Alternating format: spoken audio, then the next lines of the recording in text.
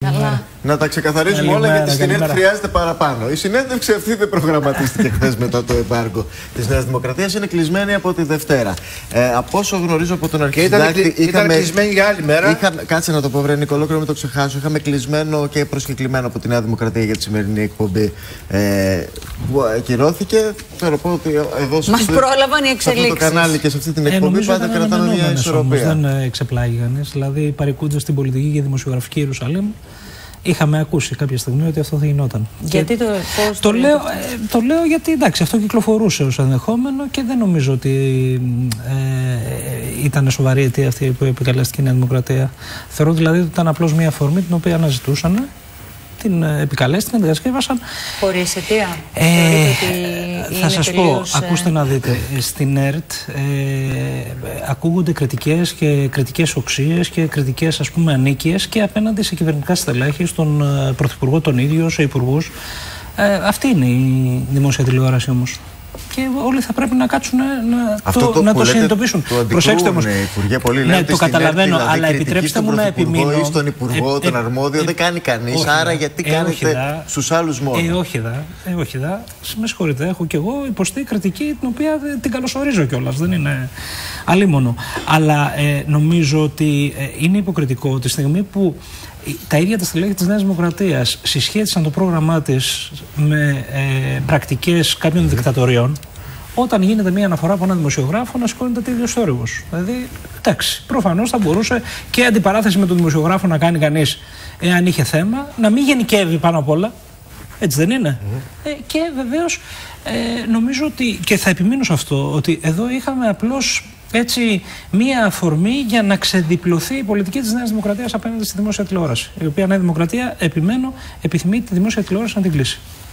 Ναι. Γιατί να επιθυμεί μια, ένα πολιτικό κόμμα να κλείσει δημόσια τηλεόραση, αφού ξέρουμε ότι τόσα χρόνια όσο λειτουργεί η δημόσια τηλεόραση, οι κάστοτε κυβερνήσεις την εκμεταλλεύονται. Κάνουν τα παιχνίδια τους.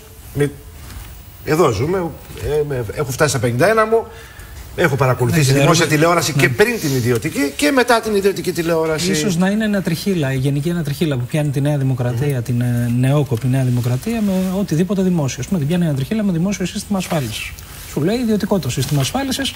Οι συνταξιούχοι θα πηγαίνουν να παίζουν πάμε στοίχημα και ότι κάτσει στο τέλος του μήνα το παίρνουν σύνταξη. Αυτό εισηγείται.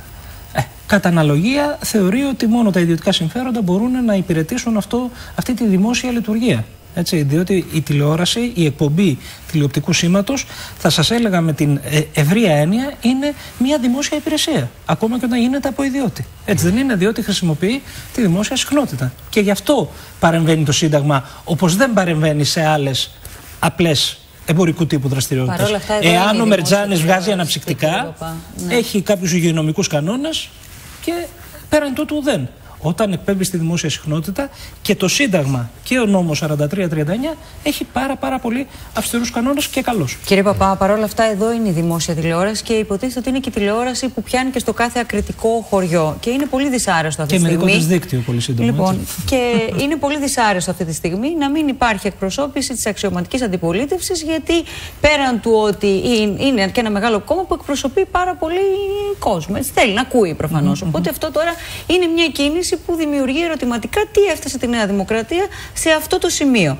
Ε, η προσωπική μου άποψη, αν λίγο μπορώ να σταθώ, είναι ότι καλό θα ήταν όλα αυτά να αποφεύγονται και να λύνονται χωρίς να φτάνουμε σε τέτοια σημεία. Όπως επίσης και από την αντίθετη πλευρά και το εμπάρκο που έχει επιβάλει ο ναι, ναι. ΣΥΡΙΖΑ ε, στο, στο Sky. Να ξεχωρίσουμε το εξής. Καταρχήν, ε, θεωρώ ότι πολύ καλώς τα στελέχη του ΣΥΡΙΖΑ δεν εμφανίζονται στο Sky, διότι ο Sky ε, έχει γίνει μια βιομηχανία fake news.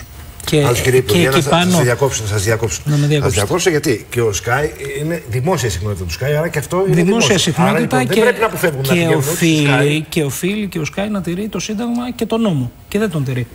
Διότι το Σύνταγμα και ο νόμος λέει ότι ο κατέχον δημόσια συχνότητα πρέπει να παρουσιάζει όλες τις απόψεις με τρόπο ίσο και ισοβαρή. Και αυτό το πράγμα δεν συμβαίνει. Και πέραν τούτου. Ναι, αλλά το ελεγκτικό πέρα, δεν είναι ακόμα το ελεγκτικό, το ελεγκτικό βεβαίως και δεν έχουμε καμία δυνατότητα, θα σας έλεγα. Εμείς δεν έχουμε καμία δυνατότητα να παρέμβουμε επί του περιεχομένου. Εμείς ψηφίζουμε ένα νόμο, η κυβέρνηση τον εισηγείται στη Βουλή, η Βουλή τον υπερψηφίζει και η ρυθμιστική αρχή έχει την υποπτία.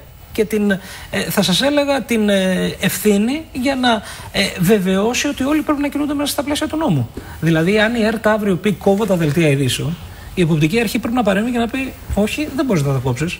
Διότι ο νόμος λέει ότι πρέπει να έχεις συγκεκριμένο χρόνο δελτία δύσκολο. Το ίδιο και τα ιδιωτικά Θα σας υποβάλω ένα ερώτημα όπως το διατύπωσα πριν από μία ώρα σε συνάδελφο την Έλλη Τριανταφύλου και το είπα θα το υποβάλω και σε εσάς. Αν δεν μας ακούγατε, χάσατε. Ήσασταν περισσότερο διαβασμένος. Ε, ξέρετε τι γίνεται. Λέμε, ας πούμε, ότι τα, τα κόμματα του Δημοκρατικού Τόξου, όπως αυτό αποκαλείστε, και καλά κάνετε για να ξεχωρίσετε τον εαυτό σας τα κόμματα τα περισσότερα από την ε, Χρυσή Αυγή. Δεν αντέχουν όμως πολύ δημοκρατία. Θέλω να πω, λέει ο Πρωθυπουργός, εγώ στη συνέντευξη δεν θα δώσω εκεί ερώτηση, δεν θα πάνε οι βουλευτές μου στο τάδε κανάλι. Λέει ο αρχηγός αξιωματική αντιπολίτευσης, εγώ στο κρατικό πρακτορείο ειδήσεων ερώτηση δεν θα δώσω, δεν θα πηγαίνω ε, στην ΕΡΤ. Όσο και αν κάνουμε λάθος στη δουλειά μας, στραβά, χάλια, παράδεκτα. Αν έχω στο πίσω μέρος του μυαλού μου άλλες προθέσεις ή δεν ξέρω εγώ τι μπορείς να έχω. Ο, ο κάθε πολιτικός δεν πρέπει να πει παιδιά η δημοκρατία έχει και Κύριε Λασκαράτε, ακούστε τώρα, μου θυμίσατε το εξή. τους διάβλους που έχω για να επικοινωνήσω αυτά που θέλω. Εντάξει, μισό λεπτό. Μου θυμίσατε το εξής όμως. Ε, πριν δύο χρόνια, τότε που ήταν στην κορύφωσή της η ιστορία των τηλεοπτικών αδειών και ναι. υπήρχε μια έτσι τεράστια σύγκρουση, σχολιαστής στο Sky αποκάλεσε εμένα προσωπικά φασίστα. Mm. Δεν είχαμε καμία άλλου τύπου αντίδραση πέραν της πολιτικής. Είπαμε ότι αυτός είναι. Εσείς, είπαμε ότι είναι ένας απαράδεκτο. προσωπικό απαντήσατε Βεβαίως. Είπαμε ότι είναι ένας απαράδεκτος χαρακτηρισμός. Βεβαίως. Και εμένα με είχε προ, προφανώς αντιλαμβάνεστε και ως άνθρωπο ενοχλήσει σφοδρότατα. Δεν αποχώρησε το, το ΣΥΡΙΖΑ από το ΣΚΑΕ. Δεν αποχώρησε. Θεωρεί... Κάθε άλλο. Κάθε Θεωρείτε κύριε Παπά ότι η, η, πρώτη επιστολή, όταν ε, εστάλει η επιστολή από τη Νέα Δημοκρατία και ήσασταν βεβαίως μέσα στα πρόσωπα τα οποία ανέφερε μαζί με τη διοίκηση της ΕΡΤ ε, και έλεγε ότι χρησιμοποιείται ως μέσο προπαγάνδας η η δημόσια, δημόσια τηλεόραση. και μάλιστα ότι εσείς έχετε επιβάλει φασίζουσα ε, προπαγάνδα. Θεωρείτε ότι μετά η απάντηση της ΕΡΤ έφερε το τελικό εμπάργκο, δηλαδή εκείνοι λένε ότι στηρίξατε και δεν δόθηκε ούτε απλά μια συγνώμη που μπορεί να έκλεινε το θέμα. Ε, κύριε Μιχλιδάκη, σας είπα, ε, η απόφαση της Νέας Δημοκρατίας ήταν προηλημένη και σχεδιασμένη. Είναι στα πλαίσια μιας στρατηγικής απέναντι στο δημόσιο ραδιοτηλεοπτικό φορέα, όπου μία φορά παίρνει την έκφρασή της με την κατασυκοφάντηση, την άλλη φορά λέει θα μειώσουμε στο μισό το ανταποδοτικό τέλος. Άρα τι, η ΕΡΤ να μην μπορεί να κάνει μυθοπλασία που ξεκινάει για πρώτη φορά μετά από χρόνια φέτος με σειρές, να αγοράζει ακριβό και πάρα πολύ καλό πρόγραμμα για τους Έλληνες τηλεθεατές και ξένες σειρές και βεβαίως να παρέχει και το καλύτερο αθλητικό θέαμα στην Ελλάδα που είναι το ποδόσφαιρο. Για πρώτη φορά μετά από πάρα πολλά χρόνια μας ακούνε και οι φίλαθλοι και οι ποδοσφαιρόφιλοι και Συγγνώμη, και μέρος του τέλους δεν πάει στο χρέος. Ε, αυτό θα σας έλεγα. Εδώ η ΕΡΤ βγαίνει, η ΕΡΤ βγαίνει, η ΕΡΤ βγαίνει από το μνημόνιο, ξέρετε. Και δεν το, το λέω. Δεν βγαίνει. Με, εξακολουθεί να πληρώνει. Ακούστε με λίγο. Η, η ΕΡΤ μέσα στο μνημόνιο, και να τα ακούσουν αυτό οι τηλεθεατές, από τα 180 εκατομμύρια του ανταποδοτικού τέλους, επέστρεφε στον κρατικό προπολογισμό 60 με 70 εκατομμύρια. Επειδή βγαίνουμε από τα μνημόνια, αυτή η επιστροφή θα χαμηλώσει αρκετά. Και γι' αυτό η ΕΡΤ αυτή τη στιγμή αποκτάει τη δυνατότητα να κάνει ανοίγματα σοβαρά και να πάρει πρόγραμμα, να, να παρουσιάσει γεγονότα. κόσμο, ναι. Ότι μέσω της ΕΡΤ φόρο. Ναι, απολύτως. Αυτό γινόταν και δεν είχε, πάψει να, είναι, αυτό, γιατί είχε, πάψει να είναι ανταποδοτικό τέλος. Δεν ήταν ανταποδοτικό τέλος, Δηλαδή, τι σημαίνει ανταποδοτικό τέλος, σημαίνει ότι το πληρώνει ο κόσμος και η ΕΡΤ ανταποδίδει πρόγραμμα, ενημέρωση ε... Είναι ξεκάθαρο, λέτε κύριε Υπουργέ, ότι αυτό που συνέβη με το Σώτερη τον Καψόχα ήταν η αφορμή και όχι η αιτία της επιλογής της ε, Νέας Δημοκρατίας. Σα μα σας είπα. Ήταν μια προηγουμένη λέτε όταν, απόφαση. Όταν η Νέα Δημοκρατία έχει στελέχη στις τάξεις της που συσχετίζουν το πρόγραμμά της ανοιχτά με πρακτικές δικτατοριών. Έχει στελέχη στις τάξεις της. Και θα το ξαναπώ. Διότι θεωρώ ότι πέραν της προπαγάνδηση του συγκεκριμένου ασφαλιστικού συστήματος υποκρύπτεται και μια σκοπιμότητα σχετικοποίησης των δικτατοριών. Και το λέω με έμφαση. Όταν έχουμε ακούσει από στελέχη της Νέας Δημοκρατίας να λένε Μη χαρίζετε το μεταξά στη Χρυσή Αυγή, δεν κατάλαβα. Είναι κομμάτι της παράδοσης. δηλαδή ότι είναι ακροδεξιό είναι κομμάτι, κόμμα η Νέα Δημοκρατία. Θεωρώ ότι υπάρχουν Παπά. ακροδεξιά στοιχεία τα οποία έχουν πάρει κεφάλι και βάζουν πάρα πολύ έντονα ακροδεξιά χρώματα, θα σας έλεγα, φαιά χρώματα στην αποτύπωση της πολιτικής της Νέας Δημοκρατίας. Αυτές δεν είναι κουβέντες που λέγονται και περνιούνται έτσι με μια διατύπωση εκ των υστέρων που λέει ότι ήταν μια ατυχής δήλωση. Δεν ήταν μια ατυχής δήλωση. Στην αναφορά του ασφαλιστικού Βεβαίως στην, αναφορά, στην αναφορά του ασφαλιστικού του Πινοσέτ. Mm. Η οποία είναι διπλά ανατριχιαστική. Πρώτον, διότι σχετικοποιεί μια βάρβαρη δικτατορία. Τι υπονοεί δηλαδή, ότι είχε αποτελεσματικό ασφαλιστικό σύστημα ο Πινοσέτ; Δεν κατάλαβα. Ποια ήταν η αποδοκιμασία από τη μεριά της ηγεσίας της Νέας Δημοκρατίας; Να βγει εκ των υστέρων μετά από 3-24 ώρα κάποιος και να πει Α, ήταν μια ατυχής διατύπωση. Σοβαρά μιλάμε. Καμία οριοθέτηση. Κύριε Υπουργέ, δεν απέχει αυτό όμως, μια δήλωση για την πυροσβέστη, δεν απέχει από το να πούμε τον ε, αρχηγό της αξιωματικής αντιπολίτευσης ότι είναι θεωρητικός φασισμού. Αυτό ήταν μια άποψη συγκεκριμένου Μιλάω για δημοσιογράφου. Μιλά, μιλάμε Εδώ, για, για, για, την μου ζητάτε, περιμένετε. Δηλαδή, μου ζητάτε, ο κύριος Μητσοτάκης έχει ακροδεξιά. Εγώ σας είπα, ο κύριος Μητσοτάκης ανέχεται απόψεις ακροδεξιέ οι οποίες είναι στη Νέα Δημοκρατία. Η Νέα Δημοκρατία από τον κύριο Σαμαρά και μετά υφίσταται μια μετάλλαξη. Mm -hmm. Ο κύριος Σαμαράς πήρε αυτούς που έλεγε η προηγούμενη ηγεσία ακροδεξιούς και τους έβαλε στη βιτρίνα καταρχήν. Να ο κύριος Μητσοτάκης τους έβαλε και στη διοίκηση. Να το ρωτήσω διαφορετικά για να το απαντήσετε και για να μην νομίζει ο κόσμος ότι κάνουμε λιγμού. Μία άποψη ενός βουλευτή, ενός πρώην υπουργού, εκφράζει όλο το κόμμα. Άρα και μία άποψη ενός δημοσιογράφου εκφράζει ένα ολόκληρο κανάλι. Τίποτα Θέλω τέτοιο. να κάνω... σας, είπα, σας είπα ότι θεωρώ ότι στην διατύπωση αυτή θα έπρεπε, εάν δεν ισχύει αυτό που εγώ λέω, εάν δεν ισχύει το ότι αφήνουν να σχετικοποιούνται ακόμα και οι δικτατορίες και να φλερτάρουν με ψηφοφόρους οι οποίοι θεωρούν ότι ενδεχομένως οι δικτατορίες είναι και καλό πράγμα. Εάν δεν ισχύει, θα έπρεπε να έχει καταδικαστεί να μην σας πω να τον έχουν πετάξει έξω με τις κλουτσέ. Λοιπόν, δεν έγινε τίποτα τέτοιο. Η ΕΡΤ έχει ανοίξει ξανά μετά το μαύρο και αυτή την ε, θλιβερή ιστορία. Στην ιστορία του τόπου, στην θλιβερή σελίδα. Ε, τρία χρόνια.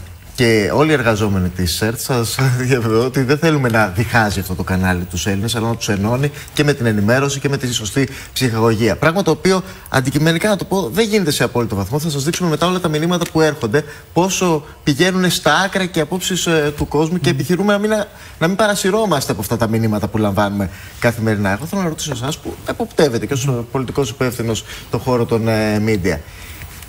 Είστε ικανοποιημένος από την ΕΡΤ. Δηλαδή, η γυναίκα του Κέσσαρα που λέμε.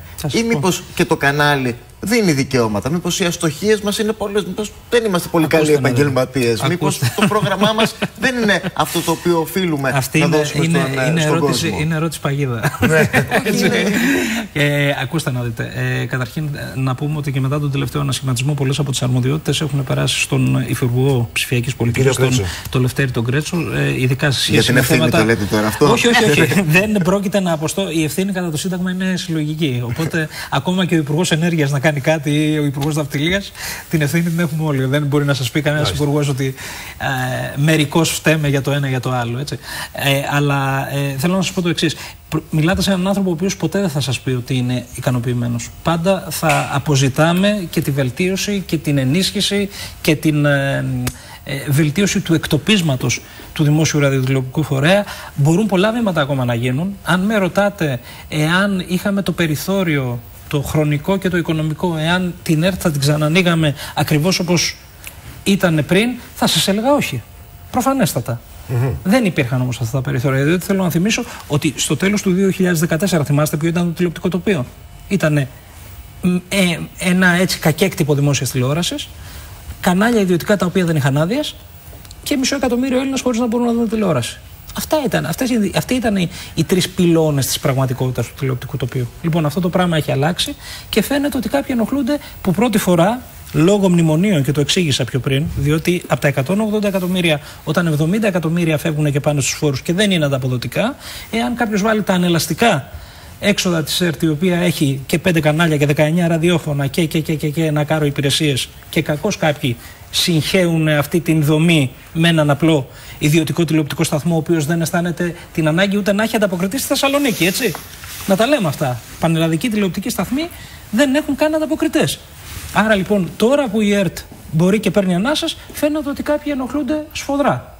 Έτσι. Αλλά Ε, η συζήτηση μπορεί να κρατήσει πάρα πολύ ώρα, ναι. αλλά έχουμε και άλλα θέματα μπροστά, Υπουργέ. Ε, εγώ θέλω να πάρω αφορμή από όσα συμβαίνουν και να πούμε ότι ε, διαπιστώνουμε όλοι ότι η, η πόλωση έχει αρχίσει και χτυπάει κόκκινο. Αυτό σημαίνει ότι ε, θα έχουμε και σύντομα εκλογές. Όχι, οι εκλογές θα γίνουν στην ώρα τους. Έχετε δίκιο να λέτε ότι ε, υπάρχει πόλωση. Ε, εγώ θα είμαι ευθύς και θα σας πω ότι θα πρέπει η αντιπαράθεση να γίνει επί των προγραμμάτων. Όλοι μας να επιδείξουμε ψυχραιμία και στο δημόσιο διάλογο, να αποφεύγουμε τους χαρακτηρισμούς και να ε, έχουμε, νομίζω, πάρα πολύ μεγάλη δυνατότητα να έχουμε μια αντιπαράθεση προγραμμάτων. Α πω ένα παράδειγμα τελειώσαν τα μνημόνια. Η Νέα Δημοκρατία από το 12 και μετά είχε ντυθεί το κόμμα του ευρώ. Έλεγε τι έλεγε στον κόσμο, ότι θα κρατήσω τη χώρα στο ευρώ. Έκλεισε λοιπόν αυτό το κεφάλαιο. Και αυτή τη στιγμή έχουμε μια Νέα Δημοκρατία η οποία επανεφευρίσκει τον εαυτό της ως κόμμα το οποίο έχει δομικά στοιχεία προγράμματος τα οποία είναι ακραία νεοφιλελεύθερα. Η ιδιωτικοποίηση του ασφαλιστικού συστήματος δεν ήταν κάτι που ακούγαμε πάρα πολύ από τη Νέα Δημοκρατία, ακούγαμε μια κινδυνολογία ότι ο ΣΥΡΙΖΑ θα βγάλει τη χώρα από την Ευρώπη. Εδώ είναι μια θεμελιακή επιλογή που πρέπει να κάνουμε σαν κοινωνία. Θα είμαστε όλοι μαζί πιο δυνατοί ή θα παίζουμε ως όζον εαυτόν σωθήτο. Αυτά, αυτά είναι, είμαστε σε σταυροδρόμια μπροστά. Πρέπει να κάνουμε επιλογές ως κοινωνία.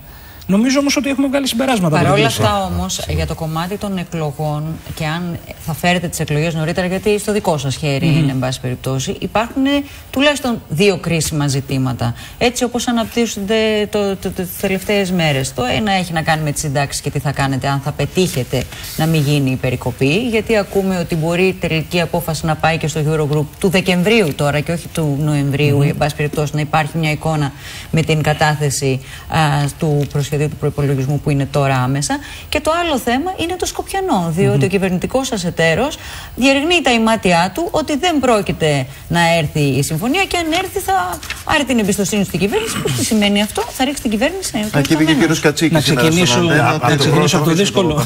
Το δεύτερο είναι το πιο δύσκολο. θα ξεκινήσετε. Το άλλο το θεωρείτε ε, εύκολο; Το θεωρείτε ε, εύκολο; Γιατί εδώ βλέπω ότι στα άκρα το δουν του για τι συντάξει. Καλά.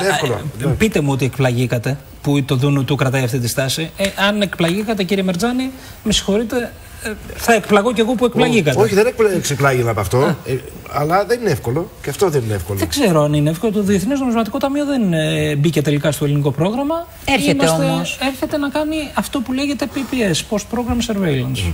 Και θα γράψει και μια έκθεση. Θα γράψει μια έκθεση την οποία βεβαίως θα τη σεβαστούμε, δεν υποχρεούμε, θα να τη λάβουμε υπόψη και να την ενσωματώσουμε. Θα τη λάβουν όμως οι αγορές υπόψη, κύριε. Οι αγορές φαίνεται λοιπόν ότι και μετά την, την εξαγγελία της οικονομικής πολιτικής στη Θεσσαλονίκη, ε, ότι κρατάνε τα επιτόκια μας σε ιστορικά χαμηλά. Το 4% το οποίο έτσι το ε, χαρακτηρίζουν ε, απερίγραπτα υψηλό κάποιοι, είναι επιτόκιο με το οποίο δανειζόμασταν πολλά χρόνια πριν την κρίση. Ιστορικά η Ελλάδα δηλαδή, ακόμα και πριν αναφανούν τα δημοσιονομικά της προβλήματα, είχε τέτοιο τύπου αυτού του, αυτής της κλίμακας mm. επιτόκια. Να, να, να, τα βάλουμε σε μια σειρά. Είπα να ξεκινήσω από το δύσκολο. Ναι. Ε, εγώ απετάχθηκα, συγγνώμη. Έτσι, ναι, και αλλά όλα στο τραπέζι είναι. Είπα λοιπόν, είπα λοιπόν να ξεκινήσω από το δύσκολο. Είναι πραγματικό πρόβλημα όταν έχεις τον κυβερνητικό εταίρο ο οποίος διαφωνεί με μια έτσι πάρα πολύ κρίσιμη πολιτική, δεν μπορεί εμείς να κάνουμε ότι δεν υπάρχει.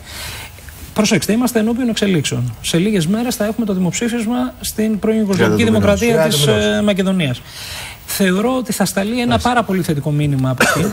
Ένα μήνυμα ότι οι βόρειοι γειτονέ μας εγκαταλείπουν οποιαδήποτε διεκδίκηση της αρχαίας ελληνικής ιστορίας, όπως το περιγράφει η Συμφωνία, εγκαταλείπουν οποιονδήποτε αλυτρωτισμό, όπως το περιγράφει η Συμφωνία, εγκαταλείπουν οποιαδήποτε ε, υπόνοια ότι μπορεί από την Ελλάδα να έχουν τώρα ή στο μέλλον άλλη διεκδίκηση, μια και αυτοχαρακτηρίζουν και τη γλώσσα τους, για την οποία πολύ ε, λόγος έχει γίνει, ως σλαβική. Έτσι δεν είναι; Ε, Καλά, άρα, και μακεδονική τη λένε. Μακεδονική, μακεδονική, η οποία όμως δεν έχει με την αρχαία ελληνική σχέση, δηλαδή ε, αλλήμονό μας. Ε, ε, εκεί πέρα έχει γίνει μια θεμελιακή αλλαγή, κυρία Μιχελιδάκη. Άλλαξε μια ηγεσία. Υπήρχε ηγεσία η οποία χάλαγε το μισό προπολογισμό για να στείλει αγάλματα του Μεγάλου Αλεξάνδρου. Αν μιλήσετε με αυτούς τους ανθρώπους, άνθρωποι στην ηλικία μου, στα βιβλία της ιστορίας τους έχουν διδαχθεί για το Μεγαλέξανδρο, αλλά ότι ήταν Έλληνας. Όχι ότι ήταν Σλάβος. Ναι, αλλά τώρα και ο Έλληνας δυσκολεύεται να το χωνέψει ή να το καταπιεί ότι, το ότι θα όμως. κρατήσουν τόσα γάλματα Πρέπει κύριε Υπουργέ να για να το- τιμήσουν πρέπει- την ακούστε με όμως. ελληνοβορειομακεδονική Πρέπει- φιλία. Ναι, αλλά πρέπει να το πούμε ότι οι άνθρωποι αυτοί κάνουν μια μεγάλη μετατόπιση. Όπως κάνουμε και εμείς υποχωρήσεις. Αυτές είναι. Η φύση της συμφωνίας αυτή είναι. Υποχωρεί η μία μεριά, υποχωρεί και η άλλη για να συναντηθούν στη μέση της γέφυρας. Έτσι δεν είναι; Ε, υπάρχει προηγούμενο χώρας που να αλλάζει το συνταγματικό της όνομα και το όνομα με, τον οποίο, με το οποίο τώρα την αναγνωρίζουν 140 χώρες. Ναι. Ε, καιρό ειρήνης, έτσι, Ο Δεν αντίλογος βέβαια λέει ότι εκείνοι έχουν μπροστά τους τα μεγάλα ε, βήματα που πρέπει να κάνουν. οπότε είναι προπόθεση και για την Εκείνη, και εδώ Ευρωπαϊκή νομίζω ότι Ένωση είναι και μια για το διπλωματική ΝΑΤΟ. επιτυχία της Ελλάδας το ότι ο δικός χάρτης της συμφωνίας λέει ότι η χώρα μας τελευταία θα επικυρώσει.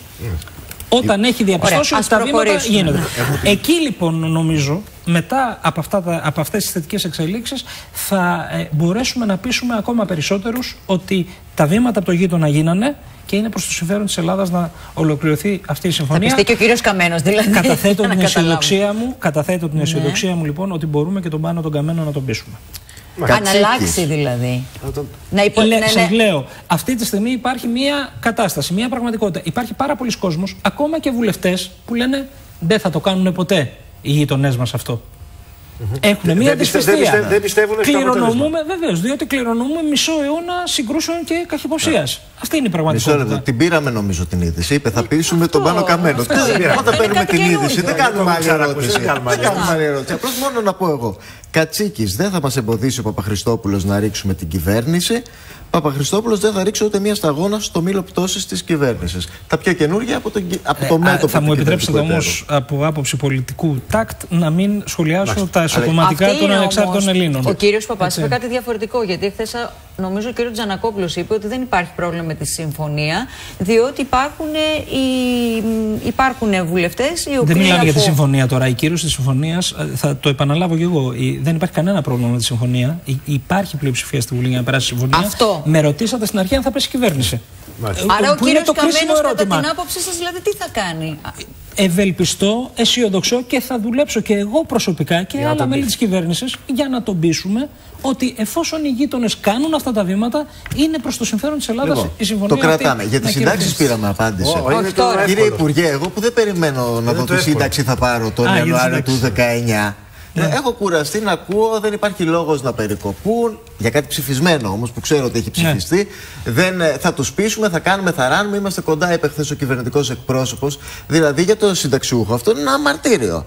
Επίσης υπάρχει και το άλλο, το πιο πολιτικό. Δηλαδή, αν δεν κοπούν τελικά οι συντάξεις, θα θεωρήσουμε όλοι αυτονόητο, ε, μάλλον εύκολο ήταν. Το, το έχουμε πιστεί. Άμα γίνει καμιά στραβή, θα, πολιτικά θα είναι μια πολύ μεγάλη αποτυχία για την κυβέρνηση. Αυτή η συντήρηση της κουβέντας δεν σας απασχολεί και σε αυτό το επίπεδο; Ε, η αλήθεια είναι ότι ναι, θα θέλαμε να έχει λήξει. Να έχει λήξει οριστικά. Βεβαίως, εδώ πέρα γίνονται διαβουλεύσεις, γίνονται προσπάθειες. Όλα τα κόμματα θα θέλαμε να έχουν τοποθετηθεί υπέρ της προοπτικής ε, της μη περικοπής και των Δεν έχουν συντάξεων. τοποθετηθεί τα όχι, υπόλοιπα κόμματα. όχι, όχι, όχι, δεν έχουν τοποθετηθεί. Είναι προφανές. Η Νέα Δημοκρατία το έχει ενσωματώσει στην ε, πολιτική της και βεβαίως όταν ε, το έχει ενσωματώσει στο πρόγραμμά της. Το θυμάστε, την κόντρα του κύριου. Ε, συγγνώμη, του αντιπροέδρου του κύριου Χατζηδάκη με τον κύριο Μοσχοβησή, όταν είχε γίνει η επίσκεψη, του είπε: Έχουμε ενσωματώσει στο πρόγραμμά μας τι περικοπές. Τι μας λέτε τώρα για να το βγάλουμε; Φέραμε όμως λίγη τροπολογία. από την Καλά, άλλη. αυτό ήθελα τώρα να το όμω καταλαβαίνετε κι εσείς ότι ήταν απλώς μέσα στις εντυπώσεις και θα έλεγα ότι αν δεν φέρναν την τροπολογία και πιάνανε τους φίλους τους στο Ευρωπαϊκό Λαϊκό Κόμμα τις, ε, και όποιον μπορούν να επηρεάσουν, ούτως ώστε να βοηθήσουν για να μην γίνει η περικοπή, θα ήταν πολύ πιο λειτουργικό. Το άλλο είναι μια κίνηση εντυπώσεων και μας καλούσαν ας πούμε, σε μια μονομερή ενέργεια. Τότε έλεγε η κυβέρνηση, καθίστε ρε παιδιά, είμαστε πριν από τις 20 Αυγούστου, δεν έχουμε βγει από τα μνημόνια. Οπότε το κάνετε τώρα που πραγματικά ξέρετε ότι δεν μπορούμε. τώρα όμως δεν πάμε- είμαστε στις 20 Αυγούστου, Ε, τώρα είμαστε πάμε 20 για τον- Σεπτεμβρίου. Τον και πρώτο γι' αυτό ρωτάμε. μεταμνημονιακό σε λίγε εβδομάδε θα καταδεθεί ο πρώτος μεταμνημονιακός προπολογισμό. Του οποίου τα βασικά στοιχεία έχουν περιγραφεί. Είμαστε πάρα πολύ αισιόδοξοι. Δηλαδή δεν είναι δευτερεύον και αυτό θέλω να το υπογραμμίσω. Έχει μπει σε τάξη το ασφαλιστικό σύστημα. Αυτό το σύστημα το οποίο παρήγαγε ελλείμματα, το οποίο είχε 900 διαφορετικούς υπολογισμούς άκουσον άκουσον για να υπολογίσεις μία σύνταξη του ΙΚΑ ανάλογα με την επαγγελματική σου ε, ιστορία, είχε 900 διαφορετικούς υπολογισμούς. Έχει γίνει μια πάρα πολύ μεγάλη μεταρρύθμιση η οποία έφερε το ασφαλιστικό σύστημα από το μείον στο συν. Και τι έχουμε τώρα, μια αντιπαράθεση που λέει: Μάλιστα, δεν πάνε να το έφερε στο ΣΥΝ. Δεν πάνε να μειώνετε τις ασφαλιστικές εισφορές για τους ελεύθερους επαγγελματίες που είχε γίνει και το κίνημα της γραβάτας. Είχε γίνει ο κακός χαμός στην Ελλάδα όταν είχε έρθει ο νόμος Κατρούγκαλου. Δεν θέλουμε αυτό. Θέλουμε την ιδιωτικοποίηση του ασφαλιστικού συστήματος. Ο καθένας μόνος του. Είχαμε 2,5 εκατομμύρια ανασφάλιστους στην Ελλάδα και μας ακούν. Πάντως, ναι, ναι, να μην τα πάρουμε όμως ότι είναι όλα ανθυρά, όλα καλά, γιατί Όχι. υπάρχουν καθυστερήσεις στις συντάξεις. Έγινε θέμα χθες σε πάρα σε πάρα πολλές εφημερίδες Θέλω να, να, δείτε, να δείτε και τα στατιστικά. Έχουν μειωθεί οι καθυστερήσεις των συντάξεων. Αυτό το νούμερο ποτέ δεν μηδενίζεται, διότι περνάνε άνθρωποι στη συνταξιοδότηση μέχρι να εκδοθεί η σύνταξή τους. Ε, είμαστε αυτή τη στιγμή σε καλό δρόμο και προχωρούμε και ε, ψηφιακά έργα με τον ε, ΕΦΚΑ και νομίζω ότι Άρα ε, δηλαδή θα, για να η διαδικασία αυτή θα επιταχύνει. Ε, κύριε Υπουργέ, ε, θεωρείτε ότι τελικά οι συντάξεις δεν θα περικοπούν, θα το πετύχετε δια της πυθούς ή θα πάτε με μονομερή για ενέργεια; Όλους, για όλους. Νομίζω ότι ε, ο στόχος που μπαίνει αυτή τη στιγμή και ο οποίος πλέον είναι ρεαλιστικός ακριβώς επειδή υπάρχουν είναι να μην εφαρμοστεί το μέτρο. Για ούτε, ούτε παραλλαγές, ούτε να κόψουμε λίγο του Μερτζάνη και λιγότερο Ωραία. της Μιχελιδάκη, τίποτα Ακόμα είναι αυτός ο στόχος. Είναι αυτός ο στόχος και πιστεύω ότι θα το πετύχουμε όπως και του χρόνου θα πετύχουμε. Εάν δεν το πετύχετε. Να μην μειωθεί το αφρολόγιο. Πώς θα, το αντιμετωπίσετε. Θα είναι πάρα πολύ δύσκολο. Α, και να μην δεν μασάμε τα λόγια μας. Εάν δεν το πετύχουμε, θα είναι πάρα πολύ δύσκολο. Βεβαίως έχουν ψηφιστεί και, Βεβαίως έχουν ψηφιστεί και τα αντίμετρα. Σας είπα ότι είμαι πολύ αισιόδοξος ότι αυτό θα το πετύχουμε. Ε, έχουν ψηφιστεί όμως και τα αντίμετρα και πιστεύω ότι όπως θα πετύχουμε να μην περικοπούν οι συντάξεις, θα πετύχουμε να μην μειωθεί και το αφορολόγητο, το οποίο και αυτό, για το 20. και αυτό το έχει ενσωματώσει το πρόγραμμά της Νέα Δημοκρατία. Περικοπή του φορολογήτου. Διότι είπε ο κύριος Μητσοτάκης θα, λέει, θα βάλει έναν καινούριο φορολογικό συντελεστή εισαγωγικό στο 9%. Τον οποίο θα το βάλει με δεδομένη τη μείωση του φορολογήτου. Μας ακούνε οι φορολογούμενοι. Να ρωτήσω κάτι άλλο. Δεν είναι το δικό σας Υπουργείο, γι' αυτό θα ρωτήσω πολιτικά, ας πούμε, αλλά και ως άνθρωπος, τι θα θέλατε. Θα αυξηθεί ο κατώτατος μισθός από τις αρχές του έτους. Το έχει πει και η αρμόδια mm -hmm. Υπουργός. Πόσο θα θέλατε εσείς να αυξηθεί, και μην μου πείτε θα ήθελα να γίνει ένα χιλιάρικο, τώρα κανονικά να μιλάμε. Θα θέλατε να ανέβει 20, 30, 40 ευρώ, 10 για να θεωρήσετε ότι είναι μια καλή αρχή και ως μήνυμα ότι αλλάζει το πράγμα και για την τσέπη αυτό που πάμε Αυτό που το παίρνει τα λεφτά, έτσι. Να είναι, να είναι κάτι φανερό. Λοιπόν, κάτι αυτό καλό. Ένα εικοσάρικο είναι καλά, ένα πενιντάρικο είναι καλά. Εδώ ε, ε, υπάρχει και πάρα πολύ υποκρισία, ξέρετε, διότι οι ίδιοι που ε, επιχειρηματολογούν καμιά φορά ε, υπέρ της ε, πλήρους ευελιξίας στην αγορά εργασίας, της κατάρριξη των συλλογικών διαπραγματεύσεων, της ταπείνωσης των μισθών για να μην είναι τεμπέληδες, ας πούμε, οι εργαζόμενοι κτλ. κτλ είναι οι ίδιοι που γκρινιάζουν και κλαίνουν για τον brain drain. Έτσι λοιπόν, όταν οι νέοι μας δεν έχουν αξιοπρεπή μισθό, ο οποίος να μπορεί να τους εξασφαλίσει την κατοικία τους και μια αξιοπρεπή διαβίωση, δεν είναι λογικό να αποζητούν. Και αυτό δεν αφορά μόνο τους εξειδικευμένους. Ναι, αφορά και ανθρώπους που δουλεύουν σε άλλους κλάδους. Ναι, οι οποίοι ναι. σου λέει για να εξασφαλίσει το πρώτο Άρα πρέπει να αυξηθεί ο κατώτατος μισθός. Δεν θα πω εγώ τώρα στα πλαίσια της εκπομπής mm.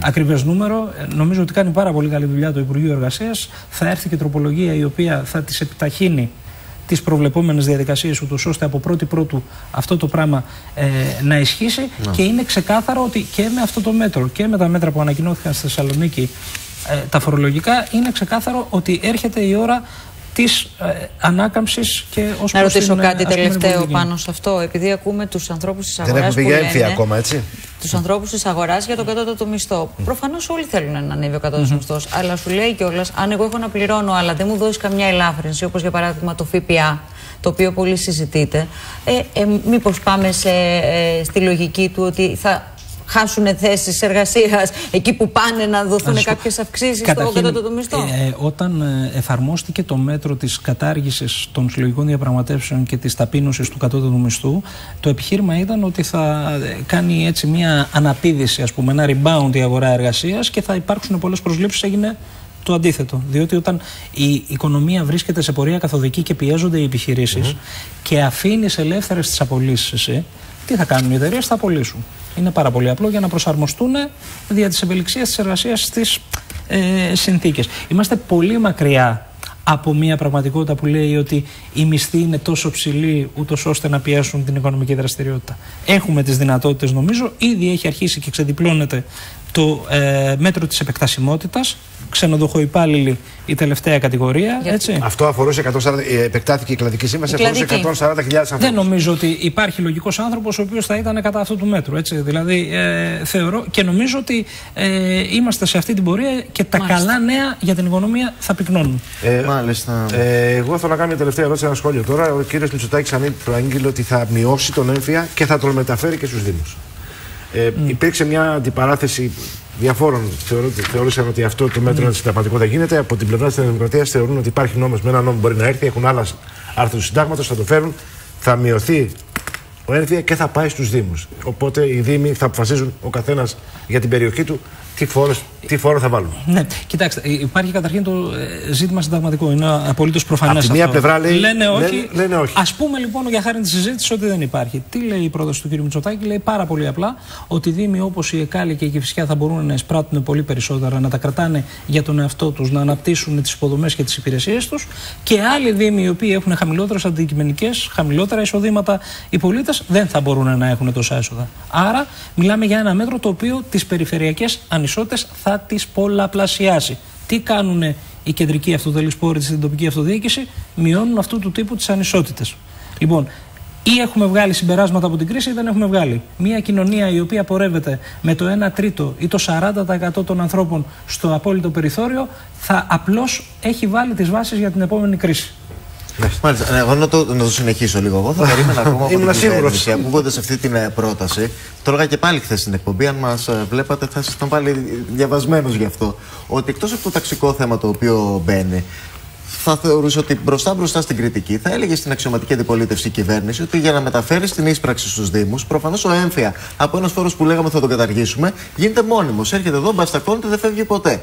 Μήπως για να μην το λέτε κι εσείς, έχετε σκεφτεί ότι δεν θα τον καταργήσετε ποτέ ούτε εσείς; Εμείς έχουμε πει ότι θέλουμε να περάσουμε στο φόρο μεγάλης ακίνητη περιουσίας. Δηλαδή προοδευτικά και καθώς βελτιώνονται οι δυνατότητες να μειώνονται τα βάρη. Και αυτό, ε, αυτό θα ψηφίσουμε σε λίγες μέρες δηλαδή με τον προπολογισμό. Θα μειώνονται τα βάρη για τα χαμηλότερα εισοδήματα και ε, τις περιουσίες οι οποίες έχουν χαμηλές αντικειμενικές και Μάλιστα. θα μετατοπίζονται.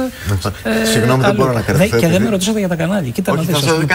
Θα έχουμε και άλλες εκπομπές. Ε, να σου πω, ξέρεις γιατί το λέω. Πριν τα κανάλια. Ναι, πριν τα ναι. κανάλια. Ναι. Βλέπω εδώ στη σελίδα 11 της εφημερίδας των συντακτών με τους σοσιαλιστές για να μην βγει ο Βέμπερ από τη χθεσινή συνεδρίαση της πολιτικής γραμματείας. Δεν θα ρωτήσω γι' αυτό. Έχετε βρει υποψηφίους για το Δήμο και την περιφέρεια της Αθήνας; ε, και να είχαμε βρει τώρα λόγω αναρμοδιότητας δεν θα τους ανακοινώνα εγώ. Αλλά νομίζω ότι ε, ε, εδώ πέρα έτσι αποτυπώνεται μια ε, πραγματικότητα και μια στρατηγική επιλογή που έχουμε κάνει. Θεωρώ ότι θεωρούμε ότι χρειάζονται ευρύτερα προοδευτικά μέτωπα και στην αυτοδιοίκηση αλλά και στις ευρωεκλογές και στις εθνικές, ακριβώς για να ανασχέσουμε. Μπορούμε να δούμε και κανένα υπουργό να κατεβαίνει έτσι, να βγαίνει μπροστά. Θα να πάρουμε τις καλύτερες δυνατές αποφάσεις. Μαζί διαβάζουμε. Διαβάζουμε, διαβάζουμε, ναι, γι' αυτό. Τι να ρωτήσουμε για τα κανάλια, δεν τελείωσες. Όχι, μία κουβέντα. Μία κουβέντα και συγγνώμη τώρα που έκανα. Τελείωσε, εχθές πληρώσαμε όλη την πρώτη δόση για τις άδειες. 17,5 εκατομμύρια εισέπραξε το δημόσιο. Τα κανάλια πληρώνουν, το Ισουρού δουλεύει, γιατί εδώ πέρα έρχονται μηνύματα και έχουν δίκιο. Εκτός από αυτό που βλέπουμε εμείς, ανοίγουμε τηλεοράσεις και πρέπει να αγοράσουμε γέλια ηλίου ή κρέμες ή δεν ξέρω τι να αγοράσουμε χαβιάρια. Ε, ραδιόφωνα, πράγματι. Βγαίνει άλλο το πρωί και λέει: Έρχεται πόλεμος. Λοιπόν, είναι αυτό. Ακούστε να δείτε. Δηλαδή, αυτό ήταν καθένα... κομμάτι της προηγούμενης πραγματικότητας στο τηλεοπτικό τοπίο. Ήταν και η, η απόλυτη έτσι, απαξίωση του Εθνικού Συμβουλίου Ραδιοτηλεόραση. Το οποίο είχε μείνει με δυόμιση μέλη, mm -hmm. εκ των οποίων ε, η θητεία των δύο είχε τελειώσει. Είχε τελειώσει χρόνια πριν. Άρα λοιπόν, ανασυγκρότηση του Εσουρού σημαίνει και πόροι.